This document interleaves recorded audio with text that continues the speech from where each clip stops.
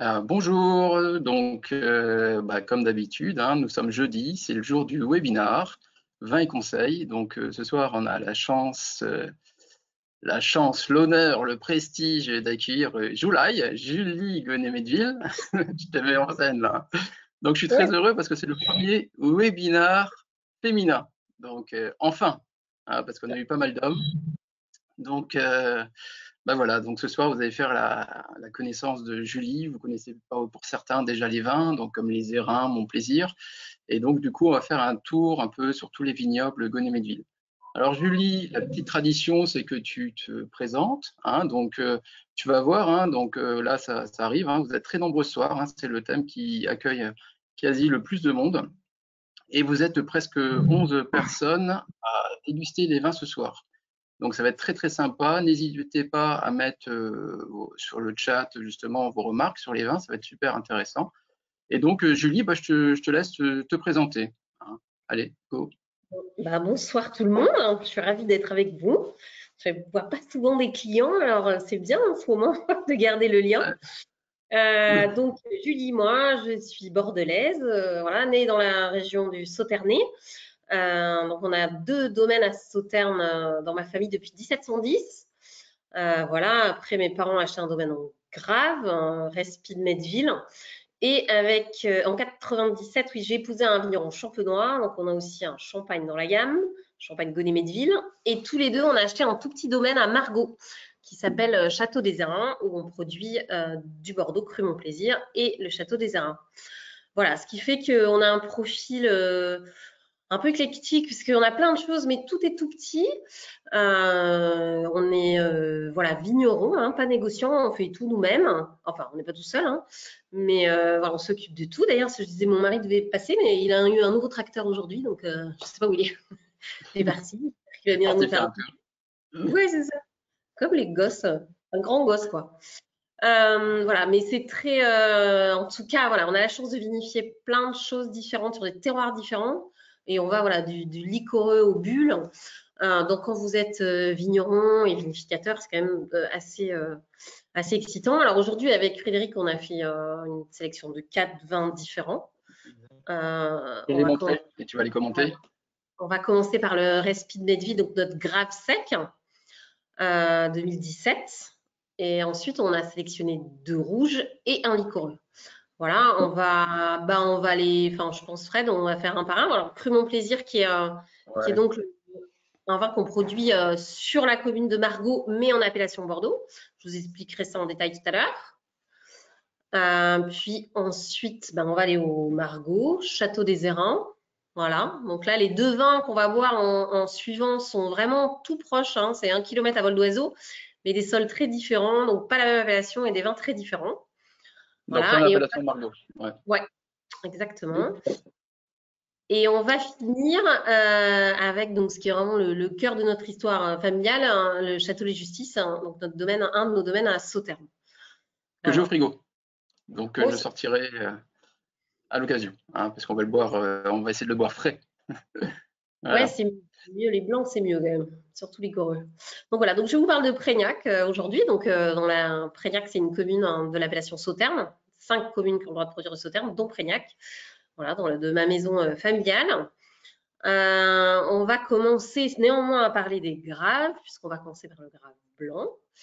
Euh, alors, il faut savoir que sauterne est une appellation qui est incluse à l'intérieur des graves. Donc, c'est fréquent. Souvent, les propriétaires ont des vignes dans les deux appellations parce qu'elles sont vraiment très proches. Et effectivement, le domaine que nous avons en grave euh, Respi Medville est à 3 km de Prégnac, c'est une commune euh, mitoyenne, Toulaine. Euh, là, on arrive sur, c'est une petite, une petite colline graveleuse. On a d'ailleurs des, grosses graves. Je reparlerai de graves pour Margot, justement, elles sont très différentes. Ici, c'est vraiment des, gros cailloux. Voilà, exactement. Donc ça, c'est un domaine que mes parents ont acheté dans les années 80, donc c'est beaucoup plus récent pour nous. Euh, où on, est, on fait du blanc euh, sec donc et du rouge. Voilà, 12 hectares, donc ça reste euh, petit, c'est d'un seul tenant. c'est vraiment, c'est un peu l'idée qu'on se fait, je pense, du domaine à Bordeaux, c'est-à-dire il y a, le, la maison au milieu et, et les vignes autour. voilà, mm. sur une une jolie butte, voilà, avec des jolis graves qui nous permet de d'avoir pas mal de cabernet et pas uniquement du merlot. non, c'est chouette, c'est un vignoble, c'est un vignoble qui est chouette que, j'affectionne. C'est une belle demeure où on peut y séjourner. On a, as d'ailleurs organisé Vinexpo là-bas, donc ça c'est ah. un peu la tradition. Je vous montrerai une photo par la suite.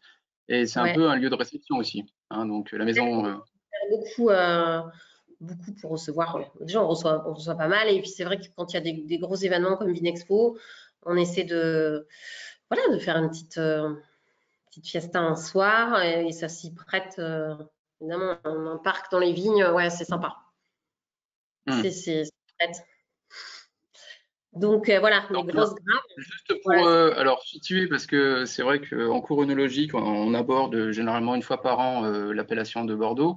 Hein, donc on a déjà fait des appellations comme Pauillac ou, ou Margaux. Hein, donc j'ai déjà présenté les érins T20 justement sur les appellations. Peut-être juste situer l'appellation Margaux, rive gauche, rive droite. tu as raison. On est, on est tout sur la rive gauche de la Garonne. Donc Sauternes est inclus dans les graves. Donc là on est rive gauche mais sud de Bordeaux.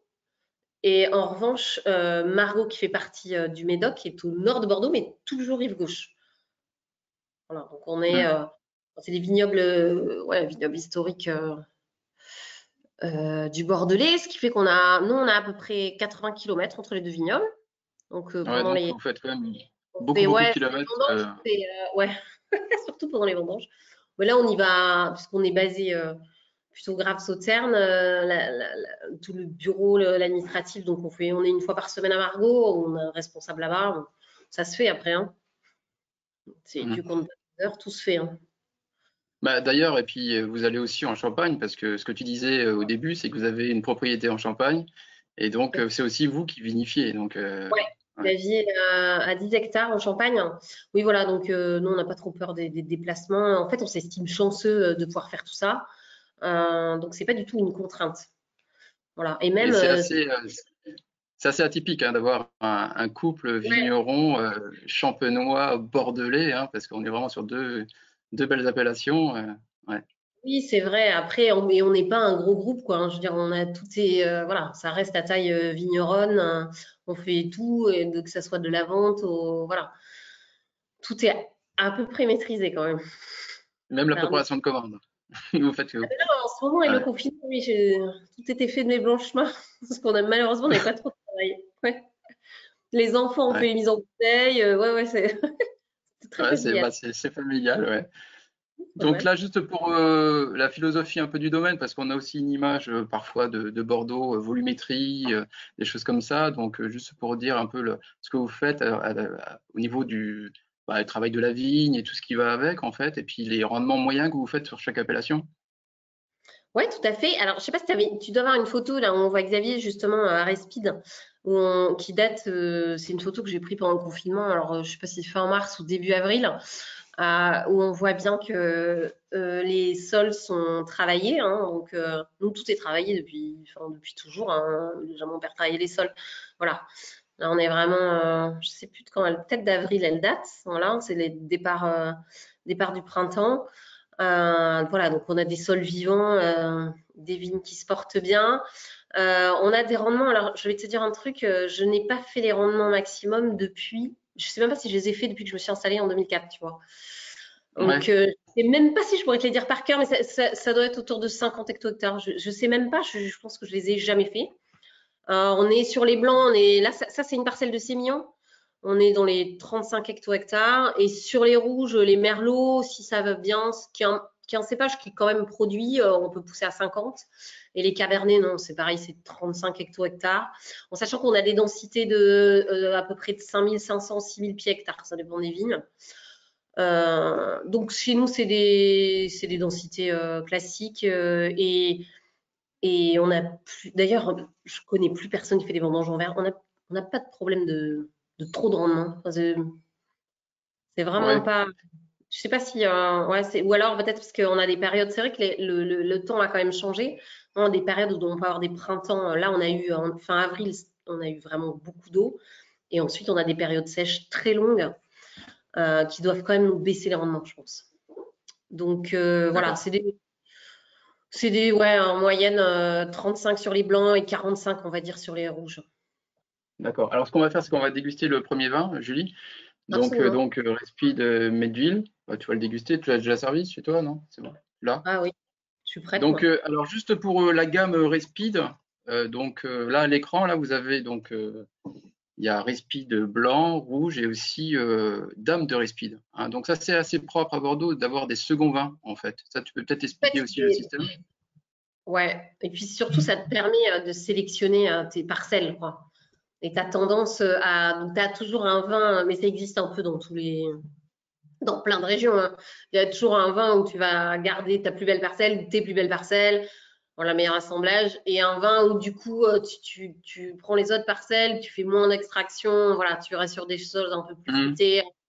Donc ça fait, ça fait, nous, là vraiment la, la dichotomie, c'est que sur le, entre guillemets, le second vin, tu as plus de merlot, pas de bois neuf, pas d'extraction. C'est vraiment des vins assez euh, fruités, euh, approchables assez vite. Et euh, sur Espide, où on va garder nos plus belles parcelles de Cabernet en haut de, la colline, où là, on va pouvoir avoir plus de structure, plus de profondeur, un petit peu plus austère jeune, à garder plus longtemps. voilà, mais tu vois, aux Zérin, on a acheté les Zérin Margot, il y avait 2 hectares 90, ils produisaient un seul vin.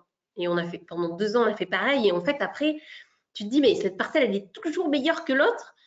Et tu finis par naturellement faire de l'eau, quoi. Et du coup, tu ne travailles pas les vins tout à fait pareil. Hein, parce qu'il euh, il y en a un qui va mieux supporter peut-être un peu de bois neuf, l'autre pas du tout. Enfin, tu vois. Mais euh, voilà, donc euh, je trouve que ça se justifie par ton terroir. Alors après, si tu as une seule parcelle de 20 tard, tu fais qu'un vin, hein, mais bon. Tu vois, même sur 2,90, qui n'est pas grand-chose, on a quand même fait... déjà deux, deux parties. Ouais. Ouais. Sectionné, ouais. Alors, ce,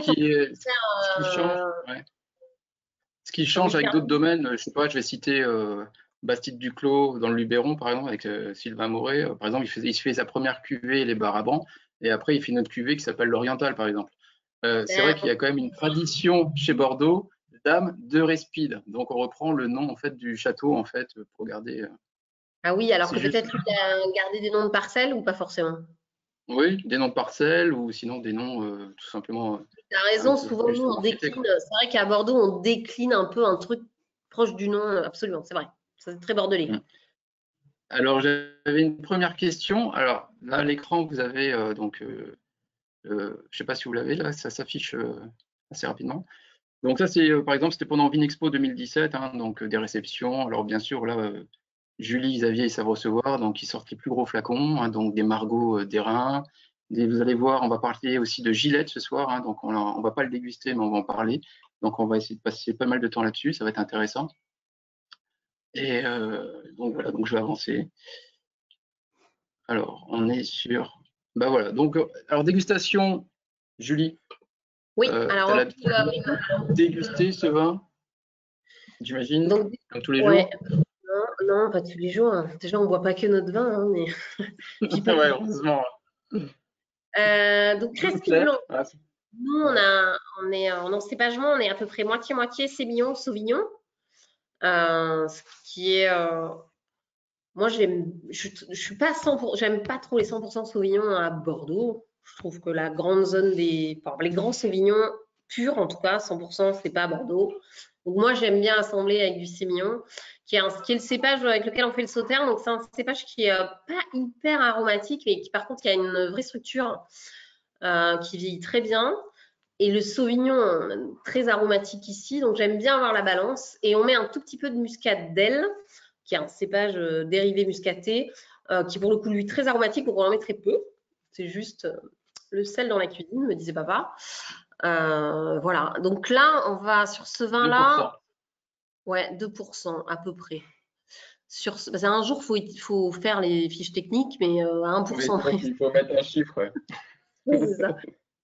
Euh, alors, on a vraiment une caractéristique sur notre blanc, euh, c'est qu'on a toujours, plus ou moins sur le millésime, on retrouve toujours un nez très fumé. Et ça, c'est vraiment notre terroir de grave. On a toujours une petite note fumée. Moi, qui me rappelle aussi un peu la, forêt des pins des Landes qui nous est proche, un peu ces notes-là. Euh, et voilà, euh, c'est un vin qui voit très peu de bois. On fait à peu près 10% de bois neuf sur les sémillons, c'est tout. Et je fais très court parce que je ne veux vraiment pas que ça marque. c'est plus un petit support, mais je veux vraiment pas que ça domine. Voilà, donc c'est un vin qui est un peu fumé, un peu iodé. Euh, qu'on va boire. Euh, alors ici, on est très, euh, très fruits de mer et poissons, hein, on est proche de l'Atlantique. Donc c'est vrai que c'est. Je t'ai perdu, Fred ou? Ouais, Non, mais c'est parce que moi j'avais un message comme quoi la connexion était très très lente, donc je me suis sorti en fait. D'accord. Mais je t'écoute. Hein. Bon, ça va alors. Ne panique pas, je suis là. Euh, voilà. Après, c'est des vins euh, qu'on boit, euh, ça dépend un peu des goûts. Quand on les a très jeunes, genre un an, deux, c'est le Sauvignon domine. et puis, moi, j'aime bien quand ils ont 5-6 ans, où les deux cépages sont bien calés, bien fondus. On a un petit peu de, de gras, entre guillemets. Hein. Il n'y a pas de tout de sucre résiduel hein, dans ce vin. C'est totalement sec, mais un petit peu ouais, de gras, de mâche et un, et un Sauvignon un peu plus un peu plus atténué, voilà. Et après, j'ai des clients qui adorent euh, l'aromatique, euh, enfin le tertiaire, même secondaire plutôt tertiaire des, des sémignons. Donc, ils les attendent même, hein, qui les boivent très vieux, hein, sur une quinzaine d'années. Voilà. Ouais, les Et donc, en potentiel de garde là-dessus, ce que j'allais te dire, donc on est sur 2017. ouais, 17, moi je dirais, euh, on est en 20 à boire, ouais, dans les. là encore 3-4 ans, quoi. À moins que tu veuilles, voilà, tu vois, passer sur des choses plus acacia, plus mielées. Mais euh, sinon, là, ça commence à bien se voir, trois ans et encore quatre ans, tu vois, où c'est bien encore du peps, quoi. Ouais, alors je vais mettre quand même à l'image de 30 secondes juste pour vous voir si ça passe, la connexion. Euh, juste pour dire que bah, c'est un vin qui est très fin, élégant. On a ce côté jaune clair qui apparaît, hein, donc on a un peu de glycérol, un peu de gras qui arrive sur le vin. Euh, il y a beaucoup de peps en attaque, hein, c'est très frais. Hein, justement, ce que tu disais, le sémillon, ça va donner ce côté un peu fraîcheur, ce côté un peu un peu, pas mielé, mais ce côté abricot qui peut arriver sur certains arômes euh, euh, secondaires derrière. Mais il y a quand même beaucoup de fraîcheur. Hein. on a quand même euh, beaucoup de vivacité qui arrive et de peps. Hein. Donc sur les poissons, comme ça, ça ira très très bien. Là, à l'écran, vous avez une photo, en fait, c'est quand on avait fait un dîner vigneron avec Xavier qui était présent. donc, on avait servi respi de blanc. Et donc, on l'avait fait sur une petite crème, un amuse-bouche, chou-fleur, comme ça. C'était très sympa. Hein, donc, euh, sinon, tu peux le recommander sur des carpaccio de Saint-Jacques, des choses comme ça. Hein, poisson fonctionne, euh, cru cuit, euh, ça fonctionne bien. Pas de, de soucis. Et nous, c'est très, très apéro aussi dans la région. Tu vois, prends vite un. Ouais, c'est un vin de soif, quoi. C'est vraiment un vin gastronomique, mais assez, assez haut de gamme quand même. Hein. Donc, mais ça peut faire l'apéritif. Tu as quand même une, vraie structure. Donc, ça tient le. C'est pas non plus le Bordeaux très sec, euh, très fruité. Tu as un peu plus de. Il y a un terroir qui porte quand même. et, par rapport à ce blanc, par rapport à Respide rouge, parce que là j'ai une question, l'âge des vignes par exemple, euh, vous Alors là, par exemple, celle-là, elle n'est pas très très vieille, elle a peut-être 20 euh, et des années. Celle-là, elle n'est pas très vieille. Après, on a en moyenne, on doit être à surtout le domaine, parce que là, on a pas mal arraché, replanté en tête à une trentaine d'années de moyenne les plus vieilles parcelles, euh, là, les, plus vieilles parcelles doivent avoir 40 TD. Alors, il faut savoir que quand mes parents ont acheté, le domaine était, tout petit, euh, peut-être il y avait 5 ou 6 hectares, et donc ils ont beaucoup, eux, planté déjà. Donc, euh, après les renouvellements et tout ça, ouais, donc les plus vieux, ça doit être quarantaine d'années. C'est pas un vignoble très, très vieux, mais, mais il se porte bien. Bah voilà, donc bah écoute, euh, là sur la, sur la fin, donc euh, beaucoup de vivacité, mais du gras en bouche, hein, une belle amplitude en bouche, donc quelque chose qui est très très sympa, euh, qui arrive très bien. Donc euh, un beau vin de repas quand même, hein, de gastronomie, mais qui peut faire aussi l'apéritif. Alors ceux qui, parce qu'il y a une dizaine de personnes qui ont les bouteilles à la maison, hein, pour ceux qui, moi je veux bien avoir des annotations sur le chat si vous voulez, des petits commentaires, ça peut être intéressant. Et là, on va commencer à, donc, euh, à vous présenter euh, Château Les Érins et Mon Plaisir. Hein. donc, euh, Julie. Donc là, tu l'as l'affiche, là, l'écran? Oui. Donc, domaine qui à la famille Grangeroux, c'est ça? Oui. Voilà, en 2009, en 2009, famille Grangeroux, il faut savoir que le père, le grand-père, le grand-père était maître de chez au Château Margaux. Ils ont, pris la décision de, vendre. Euh, le fils euh, voulait vendre. Euh, c'est donc un tout petit domaine, 2 hein, hectares 90 de Margot et à 9 de, Bordeaux. Et hum, ils ne voulaient absolument pas vendre un cru classé à un grand château. Parce que dans ce cas-là, immédiatement, la terre rentre dans la marque château, je ne sais quel grand château, et, le nom de leur domaine aurait disparu. Donc ça, ils ne voulaient pas. Donc ils sont venus nous voir en disant est-ce que ça vous intéresse d'acheter euh, alors nous, inutile de dire que oui, évidemment, on était plus qu'emballés, on cherchait un autre terroir de rouge, on voulait se diversifier. Et là, euh, les, hectares là, de, des Érins, c'est vraiment, enfin, c'est sur le plateau des Trois Moulins, euh, tout le monde, c'est en face à Margot, tout le monde a quelques pieds de vigne ici. Donc, c'était une opportunité incroyable pour nous. donc, on a acheté en 2009, on a vinifié chez eux, carrément dans leur garage. Hein pendant quelques années avant nous d'acheter, euh, voilà la photo précédente, d'acheter un vieux chai. Donc, il n'y avait rien eu depuis 80 ans. Donc, on a fait un an de travaux euh, pour installer euh, notre petit chai. Ça reste une maison de poupée, hein, parce qu'on vinifie vraiment pas beaucoup de, vin là-bas. voilà, après, il y a d'autres photos. C'est vraiment tout petit, mais c'est sympa. Puis, on, est on a des vignes que dans le village de Margot et de Cantac. On est vraiment au cœur de l'appellation. Donc, c'était l'idée d'avoir un, un chai à proximité.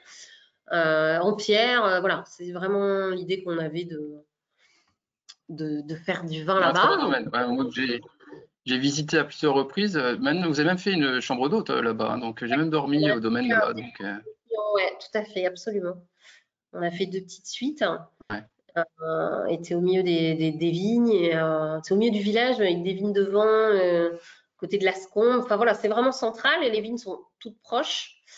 Et voilà. Et donc, quand on a acheté, on a acheté surtout pour ces fameux euh, hectares de Margot et en même temps, dans l'escarcelle, hein, ils nous ont dit oui, mais nous, on fait aussi du Bordeaux, cru mon plaisir. Bon, on n'était pas sur le papier. Bon, bah, c'est tout. De toute façon, on n'avait pas le choix. Et, euh, et au final, euh, c'était une super bonne surprise parce que c'est un vin, cru mon plaisir, qui est donc dans Margot, mais une partie du village qui est proche de la Gironde. Donc, c'est derrière le château Margot, justement. Euh, là, on est sur des terres alluvionnaires euh, assez riches. Donc là-dessus, vous ne pouvez pas mettre des cabernets. C'est pas assez drainant. voilà l'immense euh, chez c'est tout petit. Ouais, énorme. là, il y a toute la production là. ouais, ouais c'est vrai. Ouais, non, c'est. on s'amuse. Hein. C'est un petit peu à taille bourguignonne, tu vois. et du coup, donc, cette partie de Margot est classée en Bordeaux supérieur. C'est des, vins, des vins basés surtout avec des merlots, mon plaisir mais des merlots hyper fruités, hyper charnus. Et au final, on est vraiment très content d'avoir acheté aussi ce vin.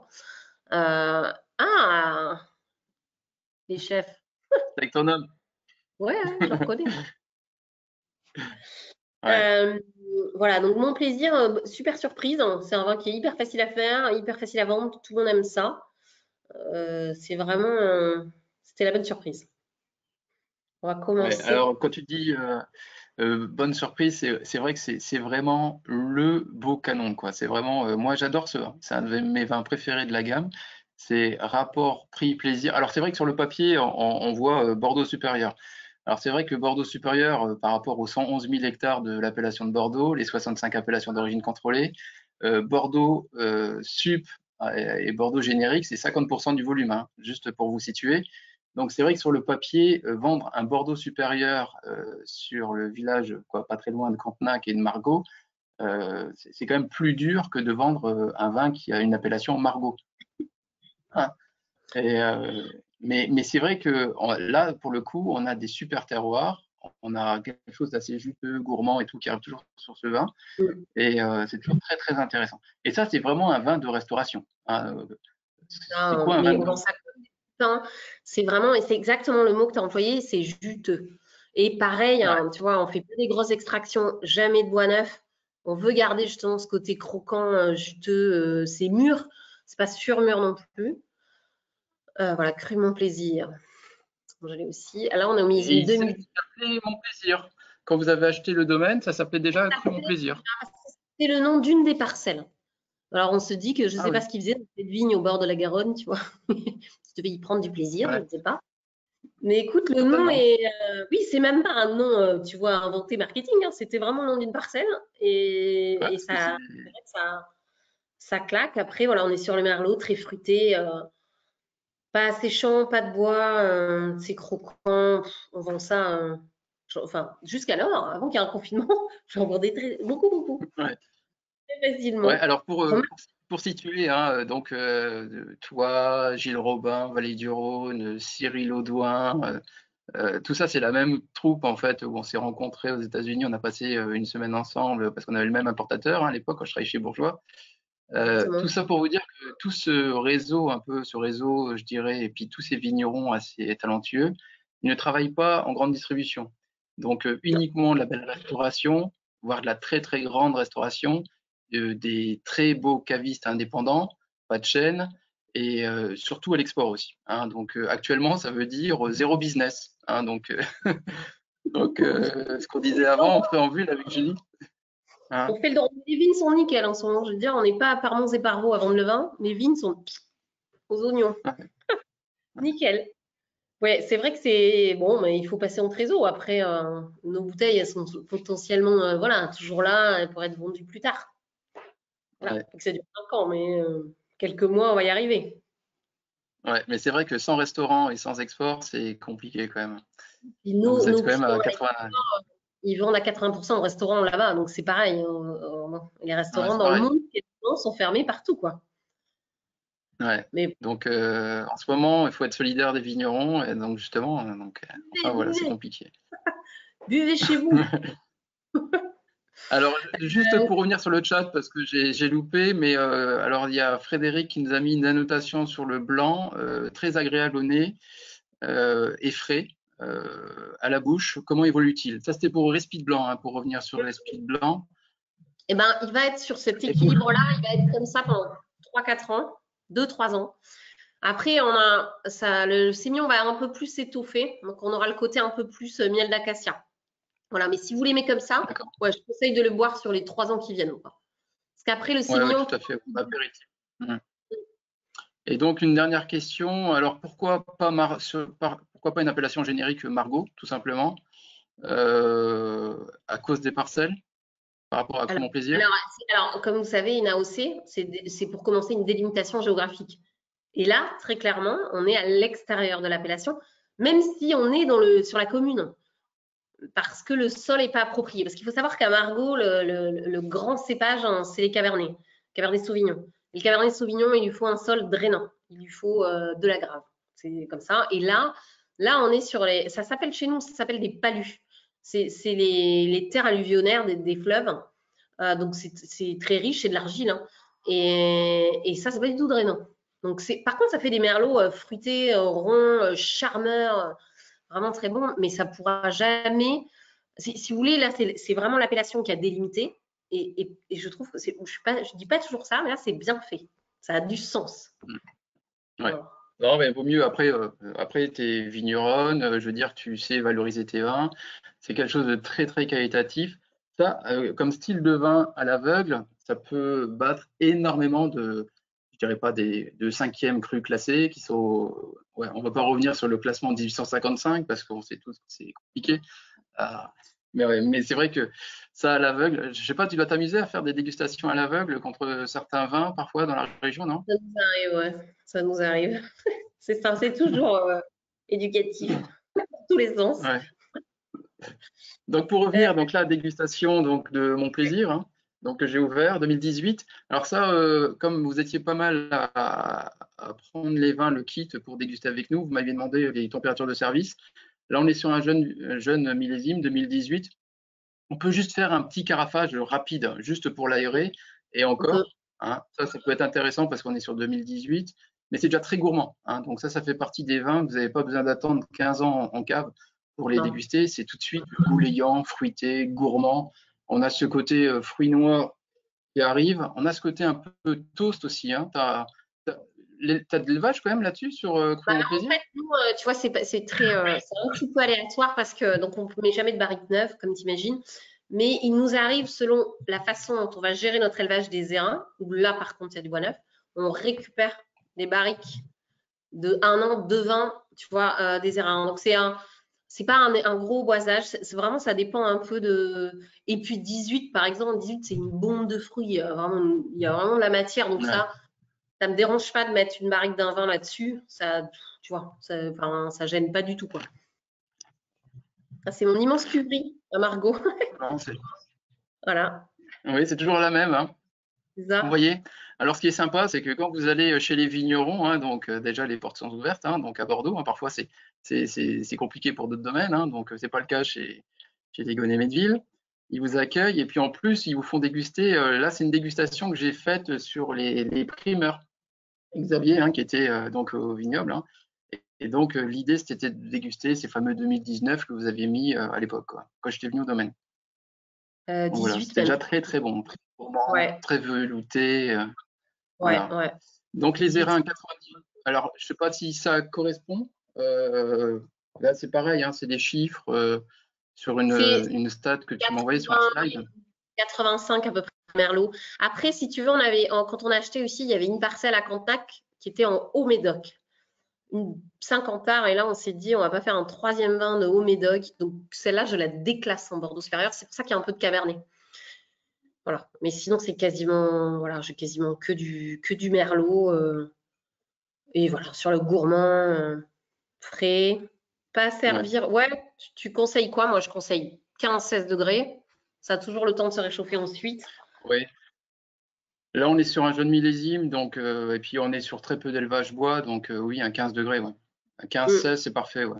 16 degrés, euh, avec un petit carafage rapide, mais juste pour l'aérer, en fait, pour booster un peu le fruit, ça peut être intéressant.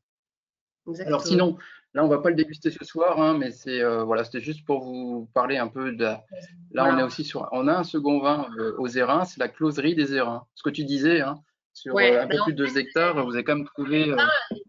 En fait, ensuite en vinif, tu sais, ça paraît naturel, tu dois faire de l'eau. Et vraiment dans les Érins, il y a quasiment que le plateau des Trois Moulins, cette fameuse parcelle qui est énormissime. Et là, et puis on a mis un peu plus de merlot dans, la closerie qui, ne voit pas de bois neuf non plus. Euh, et du coup, on a, un Margot euh, très velouté, euh, alors super accessible, même jeune. tu vois, les 16, là, ça se goûte hyper bien. donc, tu as, cette finesse des Margots sans la, même structure que les arins, quoi. La closerie. Mhm. Alors, on va commencer à déguster donc les érins. Je regarde. Alors Lara disait qu'elle sentait un peu de l'alcool quand même. Alors ça, c'est lié à la température de service, clairement. Hein. L'alcool, attention, ça c'est quelque chose que je dis euh, souvent euh, pendant les cours et j'insiste. Hein. température de service, ça paraît... Euh, alors imaginez-vous 16 degrés. Hein. donc 16 degrés actuellement, il fait 28 degrés. Donc si vous avez laissé les bouteilles de vin rouge à température ambiante, donc chez vous, il doit faire 24 degrés actuellement. donc vous dégustez un vin qui est à 24 degrés. 34 degrés, à savoir qu'au début, vous avez, si c'est à 14 degrés, c'est glacé, donc euh, les fruits, euh, tout ça, ça va être glacé, vous n'aurez pas trop de, fruits clairs et très fruits rouges, ça va être. Mais par contre, et plus vous montez en fait en température, 18, 20, 21, 22, 23, bah, le fruit bah, va se concentrer et vous aurez vraiment que de l'alcool. Donc euh, ça, c'est vraiment une remarque que j'ai souvent en club œnologique. C'est pour ça que moi, je viens toujours avec des glacières les vins sont toujours réfrigérés, même les, rouges. Hein, donc, quand il fait 28 degrés, je mets des glacières. Et donc, je sers les vins à 15 degrés. J'ai souvent mon, thermomètre laser aussi pour les températures. Température au service, parce que je la tout le temps en cours. Vous mm. pouvez flinguer une dégustation rien qu'avec la température. Mm. Donc, euh, Lara, juste un petit conseil. Il euh, ne faut pas avoir peur. Remettre peut-être ce, vin un peu au frigo ou sinon le rafraîchir dans un bac à glace, un, seau à champagne tout simplement avec un peu de glace le faire revenir et vous allez voir que la température sera optimum et là, vous n'aurez plus d'alcool. c'est tout à fait classique. Donc euh, après, niveau alcool, hein, 2018, hein, on est sur un vin qui titre 14 degrés alcoolique. Hein. Ouais, ouais. Il est exactement à 14,1, absolument. Euh, puis c'est vrai que les, merlots, on est vite à 14. C'est autant les cabernets, euh, tu as du mm. mal à dépasser 13, 13,5. Euh, c'est vrai que les merlots, après, ça, moi, ça me dérange pas l'alcool si tu as l'équilibre, quoi. Si tu as l'acidité, euh, si tu as. bien sûr, ouais. Mmh. ce qu'il faut, quoi. Et la température, bien sûr, ça c'est crucial. C'est vraiment. Et puis, euh, plus on vieillit, plus on est sensible au phénomène. Moi, on supporte. Allez, on va déguster donc euh, les érins. Ouais. Hein. donc, les érins, donc, alors ça, c'est intéressant parce que quand j'ai proposé, on m'a dit ouais, 2013. Alors, tu sais qu'il y a toute une. Donc, il y a le, la loi des, des, grands crus classés avec les, les primeurs.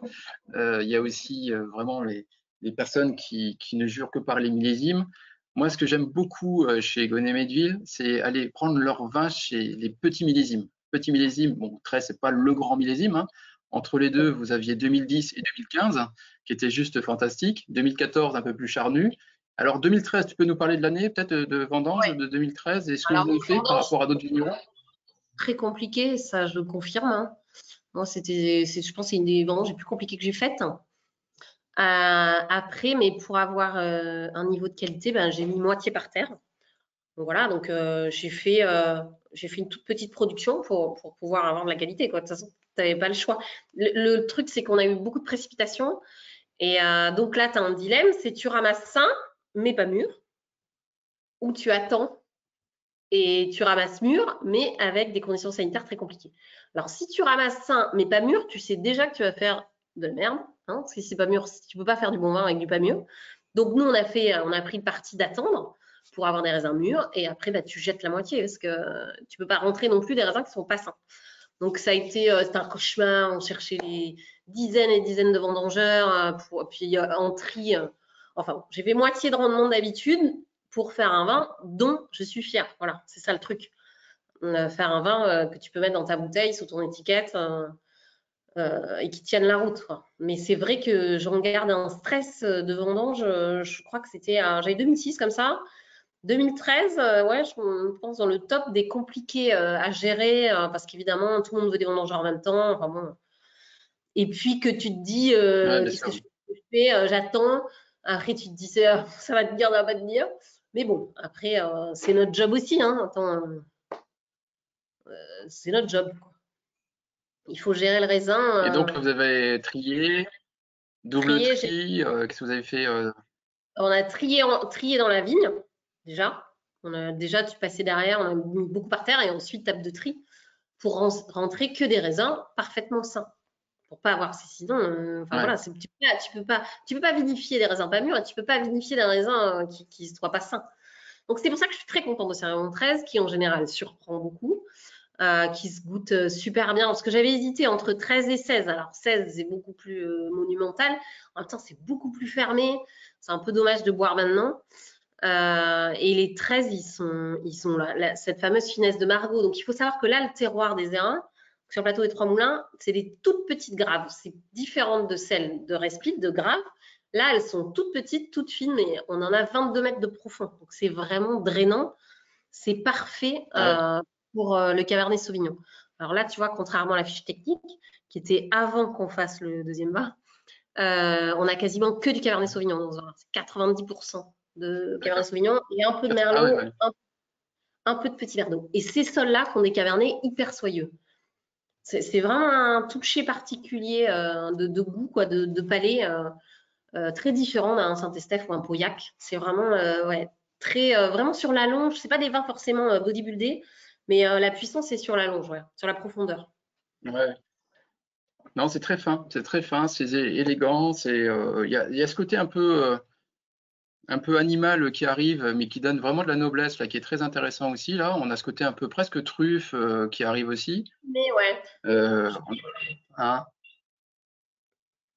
et puis on commence à voir un peu des, couleurs un peu. Euh, pas, on, est, on est encore sur un rubis, hein, mais on commence à être sur le grenat, hein, donc une belle couleur. On est sur un vin qui a encore beaucoup de matière. Alors là, là, ce qui est très intéressant, là, c'est de le faire à l'aveugle contre des, grosses machines, hein, des, gros domaines qui vendent ça euh, trois fois le prix. Et 2013, là, pour le coup, là où ils n'ont pas fait euh, des super vins, quoi. Donc. Euh, C'était compliqué.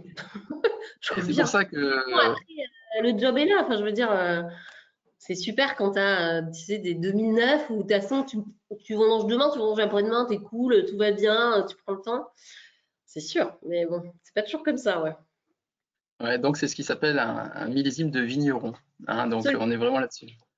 Donc celui qui veut ça, ça tombe bien, vous êtes des vrais vignerons. Donc euh, bah, les airains, euh, très très bons. Ah, donc nous à l'époque, quand on avait fait le, dîner euh, vigneron, c'était en 2017 avec Xavier. Euh, on avait fait une pièce de veau là-dessus, avec un petit jus, un fond de veau, une petite raviole et des champignons. Là, ça allait justement ce côté un peu champignon là, qui allait axer là-dessus. Là, c'était très très sympa. Et on avait servi donc les airains en magnum des 2009 et des 2010. Alors, on ne s'était pas planté, hein, donc on n'avait pas fait ce qui avait le plus mauvais dans la gamme. Hein, donc 2009-2010, gros millésime. Et on avait servi ça. Alors, vous voyez la couleur là, par exemple, dans le verre, hein, c'était très intéressant. On commençait à avoir ce côté un peu ben, grenat qui commençait, qui était très très sympa en dégustation. Donc, accord mes vins là-dessus sur les airains 2013. Bah, Alors, de beurre. ouais, je resterai sur, je pense, viande blanche, c'est bien, hein, viande blanche, volaille. Je pousserai pas trop, pas de gibier, tu vois, je pousserai pas trop quand même sur je pense que je resterai euh, ouais, sur des viandes blanches. Bah, nous, le veau, euh, avec une superbe cuisson et tout, avec un jus de viande qui rehaussait bien le truc, c'était vraiment très, très agréable. Hein. Donc, euh, veau, volaille, et puis accentuer plutôt, ouais, accentuer plutôt avec les, garnitures comme des champignons, un jus de viande un peu corsé et tout. Et, du coup, ça laisse la place au vin aussi. Hein. C'était très intéressant. Ouais. Après, c'est des vins qui ont euh, tu vois, par rapport aux, graves qui ont euh, une acidité plus forte, je pense, parce que c'est plus de cabernet.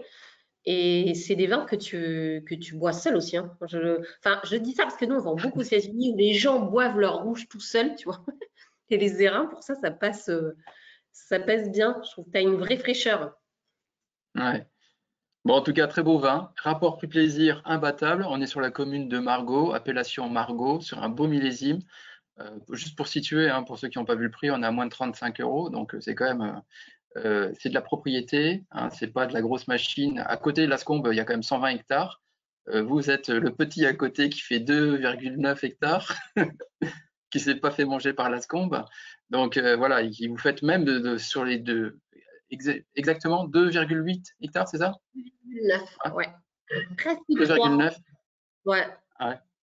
Ah bah voilà, ils sont précieux ceux-là. Mais euh, ce que je veux dire, c'est que même sur deux, euh, moins de 3 hectares, euh, vous arrivez à faire deux cuvées et puis faire vraiment du sur-mesure. Quoi. Donc voilà, il faut aller chercher les petits vignerons. quoi, c'est pas péjoratif, un hein, petit vigneron. Mais quand tu as les Érins et Cru Mon Plaisir à côté de Lascombe qui fait combien 120, 140 hectares, on ne sait plus. Ouais. Et tout ce qu'ils achètent, ils le mettent sous la marque Lascombe, Lascombe, Lascombe. Enfin voilà ce que tu disais en préambule. Enfin voilà. Bah, après, voilà, le système moi, je me bats pas contre le système, hein, mais euh, c'est vrai que et du coup là, tu vois, il y a des gens qui sont pas forcément d'accord. Ça nous a donné une très belle opportunité. Donc, euh, on est super contents. Mm. Donc euh, là, j'ai une, une, notation, quelqu'un a goûté les airains soyeux, agréables. Alors allez-y, hein, mettez des, des, commentaires. Hein. Donc toujours boire accompagné de quelqu'un de. Ouais, ça c'est un commentaire. Soyez. bah, c'est des vins de copains, donc avant tout. Alors, tu vas nous parler un peu de Sauterne, hein, parce que ça, c'est. Je, voudrais passer un peu de temps quand même là-dessus, surtout sur bah, les Justices, qui est juste fantastique. C'est un de mes vins préférés aussi. Et puis Gillette. Et puis un peu, parce que ça, c'est un peu l'ADN hein, de la maison, 1710. Hein, vous voyez, maison familiale Medville. Pour ceux qui connaissent les grands liquoreux, euh, on, peut, on peut qualifier de Château Gillette euh, dans le top 3, 4 des grands liquoreux de, de Bordeaux. donc, euh, il y, a, bien sûr euh, les grands châteaux que vous connaissez, hein, un peu plus réputés, mais Gillette fait partie vraiment de la référence de Sauternes. Donc voilà, il y a un savoir-faire qui est maison. Hein, donc euh, bah, tu peux peut-être te présenter, et puis moi je vais enlever la caméra, je vais chercher la bouteille. J'irai chercher bien après alors. Ok. Oui, absolument. Euh, donc, oui, Gillette, les Justices sont dans ma famille depuis 1710. Donc, Gillette, 4 hectares et demi dans le village de Prégnac. c'est un clos contre le cimetière calme. Et les Justices, qui est euh, lui plus près, euh, plus près de la Garonne, un petit peu plus à l'extérieur du village, entre, entre Prégnac et Barsac, où on a 8 hectares et demi. Euh, donc ça reste encore des petites productions. alors je vais commencer à parler de Gillette en premier, parce que Gillette c'est vraiment unique au monde, c'est vraiment très spécial, puisque c'est un vin qu'on garde 20 ans en cuve béton avant de faire la mise en bouteille et de vendre. Donc c'est quelque chose qui est unique au monde. Hein. Je ne crois pas à ma connaissance que quelqu'un d'autre fasse ça. Euh, en fait, pour la petite histoire, donc pendant la, Seconde Guerre mondiale, euh, mon grand-père, euh, c'était très compliqué de trouver des bouteilles ou des barriques, donc il a laissé ses vins en fait en cuve béton. Et ainsi, le premier millésime, enfin le millésime 37 à l'époque, est resté 9 ans en cuve. n'a pas du tout vu de barrique, comme c'était la coutume. Et en fait, quand il a goûté au bout de 9 ans, il s'est dit, mais c'est un truc de fou, c'est hyper intéressant. C'est-à-dire, on a un vieillissement, certes, hein, parce que le temps, il passe, on ne peut pas lutter. Mais par contre, on n'a pas eu de micro-oxydation, pas d'aromatisation par le bois. Donc, en fait, on a une espèce de, de contenant neutre et, une photo du millésime et du botrytis de l'année. Euh, et du coup, des vins euh, qui ont été protégés de l'oxydation, taillés pour la grande garde. Et il a dit, je ne mettrai plus jamais mes vins en barrique, je garde le ciment pour tous mes. Du coup, ça a commencé comme ça. Après, mon père a fait plein d'essais. Elles sont au fond les barriques, euh, les cuves, pardon, derrière les barriques. donc, c'est, voilà, mon père a fait plein d'essais. Il y a même des millésimes qui sont restés 27 ans en cuve. Mais maintenant, on est calé à 18, 20 à peu près, aux alentours de 20 ans, ça dépend. On ne produit que les grands millésimes qu'on peut appeler crème de tête. Euh, donc là, pendant le confinement, euh, on a mis euh, en bouteille le 99. Voilà, sinon, jusqu'à là, on Vous venez de finir le 97. moi, j'étais sur le 97 que j'avais dégusté. Exactement. Donc là, on est vraiment sur un vin iconique, unique au monde.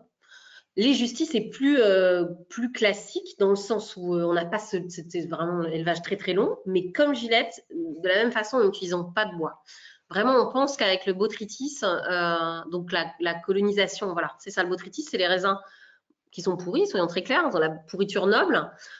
donc ce champignon, en digérant la peau du sémillon, hein, c'est essentiellement du sémillon, euh, donne euh, une palette aromatique absolument hallucinante. Et nous, on ne veut pas rajouter un arôme de bois là-dessus qui, à mon sens, lisse un peu l'aromatique. Donc les justices, eux, restent deux ans en cuve inox euh, avant d'être mis en bouteille. Donc là, c'est vraiment des vins, on est en plus sur les arômes de botrytis jeunes, hyper expressifs, hyper aromatiques. Alors, je vais aller rechercher aussi la bouteille de 2015, mais en général, voilà. Alors, je reviens là sur la photo. Euh, la difficulté du sauterne réside dans la vendange, puisque là, euh, on passe plusieurs fois sur la même grappe en fait.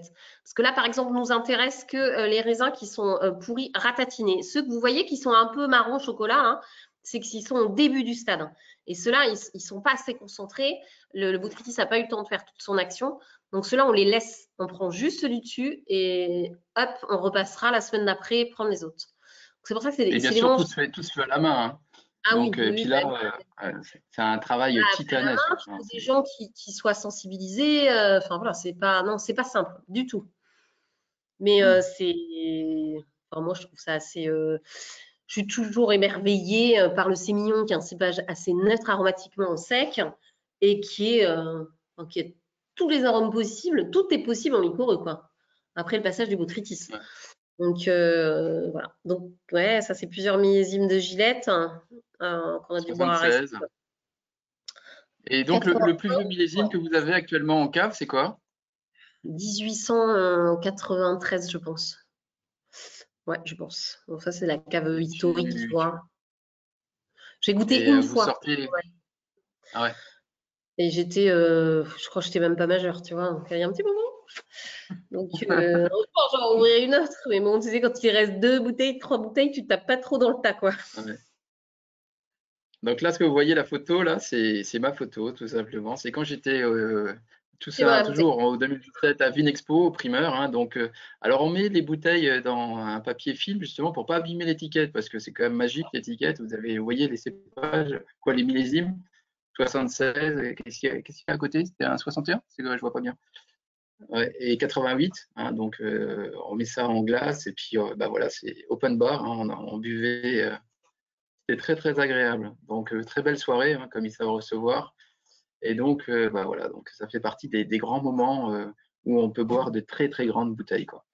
Donc là, on va faire la dégustation. Et donc là, pour revenir sur Gillette, hein, parce que c'était un peu, vous avez compris, crème de tête, hein, ce qu'on appelle, c'est la cuvée qu'on fait seulement sur certains millésimes. ça, c'est des bouteilles qu'on avait dégustées aussi lors du dîner vigneron, donc 1997, et on avait ouvert un 79. Alors, les couleurs n'étaient pas du tout les mêmes. Hein. On commençait à avoir ce côté presque un peu marron qui arrivait sur le 79, mais toujours autant d'éclat euh, dans le verre et puis euh, beaucoup de fraîcheur. C'était très intéressant. Et donc, on avait sorti une petite meringue comme ça, avec une poire, avec un petit moelleux. C'était vraiment très, très sympa. Et l'accord mes vin euh, là-dessus. Alors, c'est vrai que le cliché sauterne, vin sucré, j'aime pas.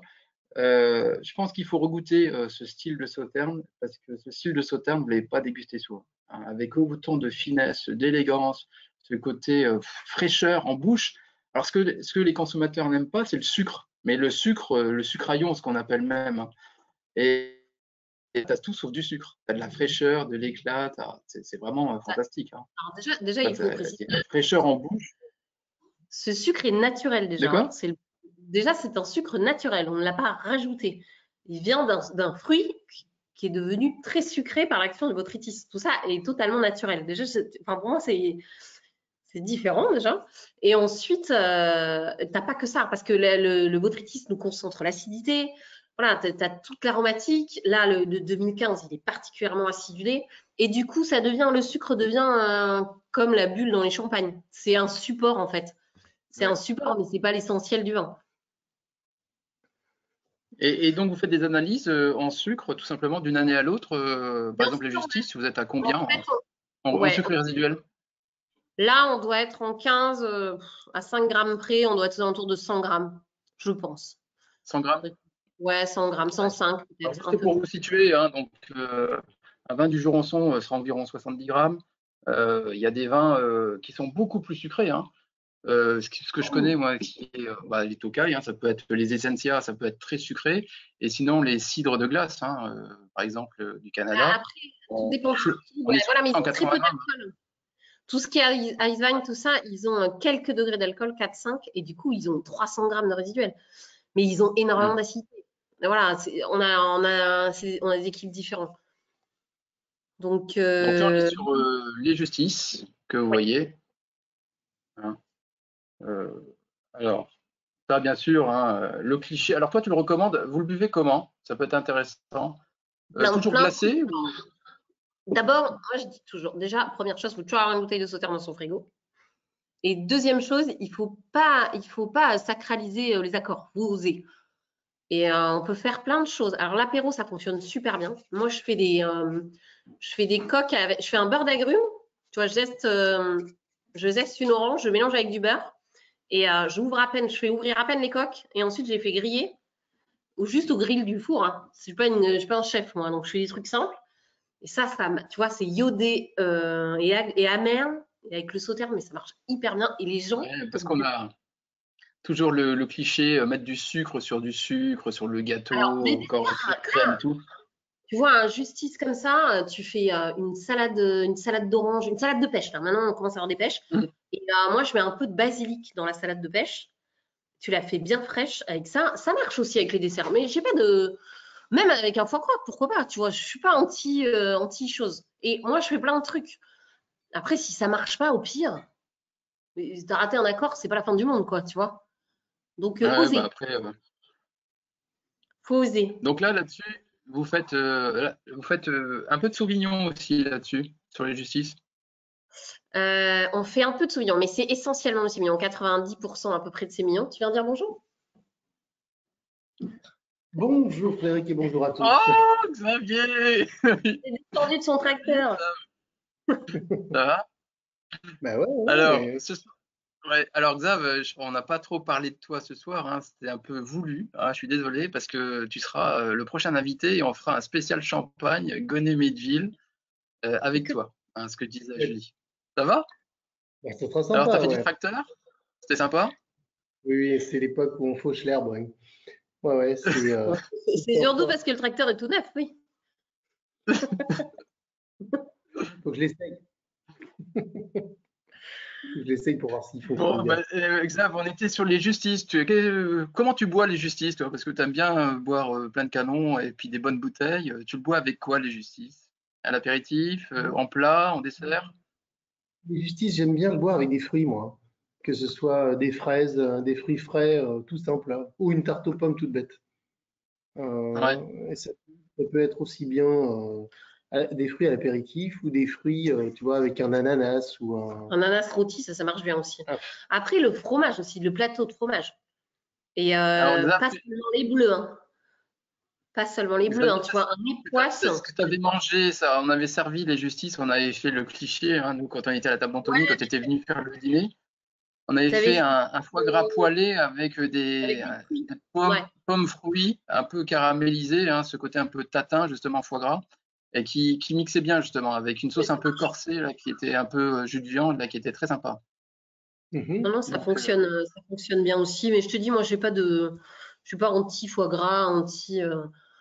Puis il faut, faut, se faire plaisir si tu as une envie. puis si tu te dis, au pire, si tu rates l'accord, hein, mon Dieu, tu finis la bouteille et tout le monde ne s'arrête pas.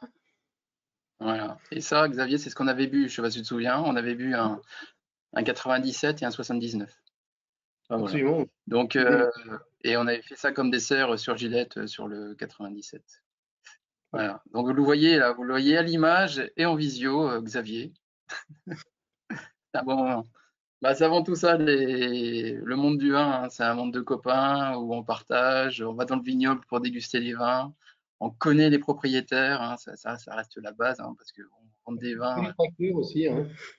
Ah, de quoi? Que du tracteur aussi, c'est pas que de la déguste. Ouais, tu vinifies. Non, mais on a, bah, on va, on va, finir là. Bah, c'était super sympa, Julie. Bah, écoute, c'était très intéressant. On a tout dégusté. On est dans les temps. Euh, c'est parfait. Euh, bah, bah, je sais pas, on a. J'espère que tout le monde. Euh, bah, j'ai plein de questions, mais une fois de plus, bah, je suis passé un peu à côté. Euh, demain, vous aurez un, petit email, hein, bien sûr, hein, avec petite offre justement. Je mettrai la closerie, je mettrai une, bouteille de gilette aussi en, offre si vous voulez. Donc voilà. Donc on va remercier nos chers Goné Medville. Julie et Xavier, merci beaucoup. Merci à vous tous qui étaient très nombreux et ça fait très plaisir. Vu les annonces du, gouvernement, ça va encore continuer les webinars, au moins jusqu'au 22 juin. Donc voilà, bah, Xav, euh, Julie, vous voulez dire un petit mot de fin? Écoutez, euh, merci euh, de votre écoute. On était content, toujours content, toujours émerveillé que les gens nous écoutent d'ailleurs, parler de, de nos vins. Donc c'était chouette. Et Fred, merci de faire l'ambassade, comme toujours. Et puis les restaurants rouvrent. Alors nous, on, est dans les starting blocks. Hein. On est chaud. chaud. Allez, on espère que tout va bien se passer. Prenez soin de vous, de vos proches et surtout buvez des grands canons. Hein. Il faut boire. Hein. Il faut penser aux vignerons qui ne vendent pas de vin en ce moment, donc il euh, faut être solidaire. Buvons. on va pas tout boire. Il hein. faut nous aider. Ouais. Allez, ça marche. Bah, merci. Allez, au revoir. Ciao. Ciao. Ciao.